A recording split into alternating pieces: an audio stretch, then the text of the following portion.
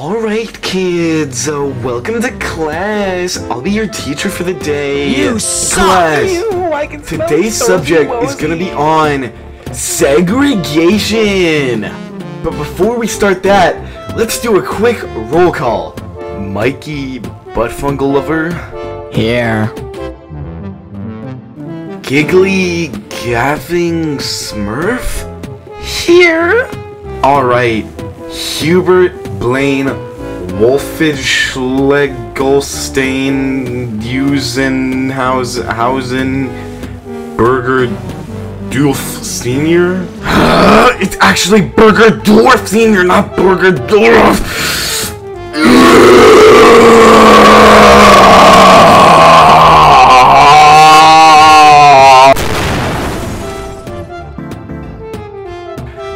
It looks like we're done with roll.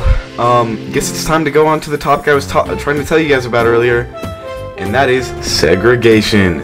More specifically, the Greensboro lunch counter sit-in, the 24th Amendment, and Martin Luther King Jr.'s assassination. Now everyone make sure to pay attention and take notes! Alright kids, let's start the video. The 24th Amendment.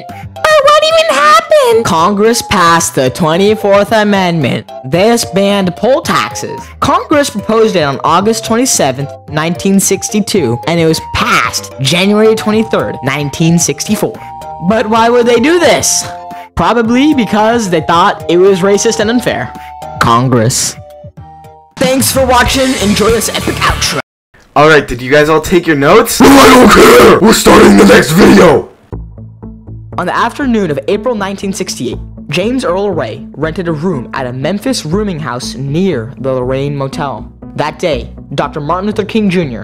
was assassinated as he stood on the second floor balcony of the Lorraine Motel. On May 7, 1968, the Shelby County Criminal Court named James Earl Ray in an indictment for the first degree murder of Dr. King. An international manhunt ended with Ray's capture at Heathrow Airport in London, England on June 8, 1968. Following extradition proceedings in England, Ray was returned to the United States on July 19, 1968. Ray pleaded guilty to the murder of Dr. King on March 10, 1969. He was sentenced to 99 years in the penitentiary. It is likely that Ray killed King because, you know, he was racist and attempting to collect a racist bounty on Martin Luther King's head. Okay, bye! Alright, I honestly don't have enough time for you kids. Just watch the goddamn video and take your notes, you little pieces of crap.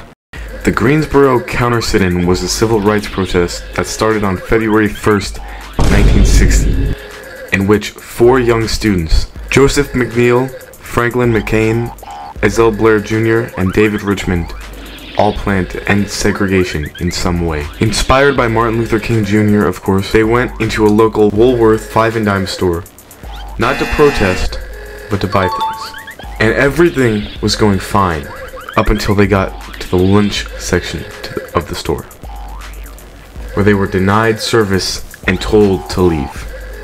But the four stood their ground and stayed there until the store closed that night.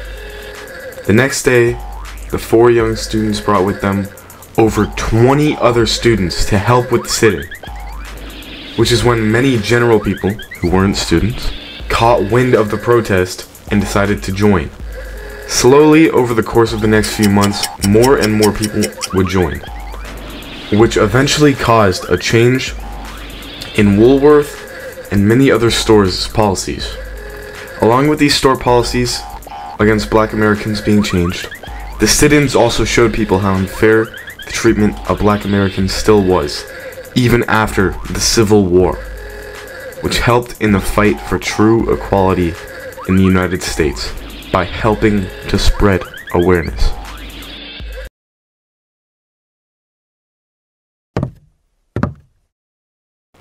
Alright kids, it's time to show you what a true classroom is like. Class is in session! Where are we? And where is that boss music coming from? I am Agarwal, son of the ancients, I think I just took in my pants. and I am going to sell your soul